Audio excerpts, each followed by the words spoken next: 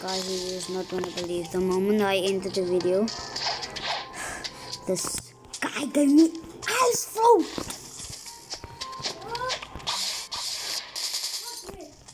This guy gave me ice fruit. Oh um, I can't remember. I think it was yeah, Baker, whoever you are. God bless you, mate.